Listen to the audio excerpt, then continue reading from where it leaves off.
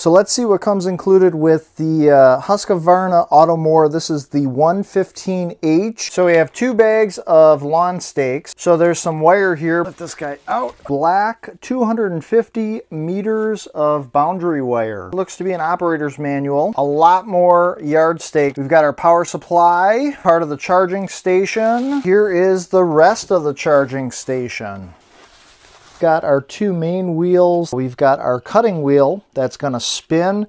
As that's spinning, these are the blades that are going to fly out, and then that's going to cut the grass. This door opens up, cutting height, whole electronic area. Then there appears to be the power button. I will say not having to spend about the hour, hour and a half that it typically takes me to cut the entire lawn before even having to go around and trim over the last couple of weeks has already been a time saver. For other gadget and tech reviews, be sure to check out my channel.